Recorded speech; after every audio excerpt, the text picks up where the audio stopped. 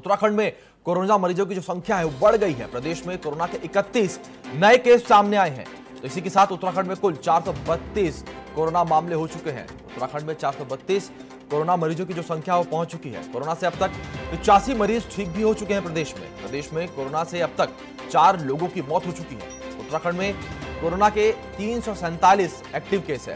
इस वक्त की बड़ी खबर आपको बता दें, उत्तराखंड से जहाँ लगातार कोरोना के जो आंकड़े हैं तेज़ी से बढ़ते चले जा रहे हैं। तो इसी के साथ 31 नए केस जो है उत्तराखंड में सामने आए हैं, जिसके साथ उत्तराखंड में चार पहुँच चुकी है कोरोना की संख्या।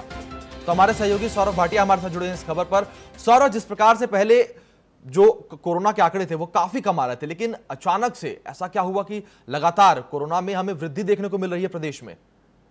देखिए, बाहर से आने वाले प्रवासियों का जिस तरीके से मामले जो लगातार बढ़े हैं, सबसे ज़्यादा मामले जो है महाराष्ट्र से आए हुए लोगों में पॉजिटिव पाए गए हैं। लिहाजा जो रेड जोन था तो यहाँ जो लोग आए हैं, उनकी संख्या में भी खासा इजाफा हुआ। जो शुरुआती दौर में 70 और 80 में सिमट गया था जो आंकड़ा, अब वो जो है 432 तक पहुँच गया है। तो कहीं ना कहीं जो बाहर से जो प्रवासी आ रहे हैं उत्तराखंड में, उन लोगों की टेस्टिंग भी हो रही है और उन लोगों में सबसे ज़्यादा जो है पॉजिटिव मामले सामने आए हैं।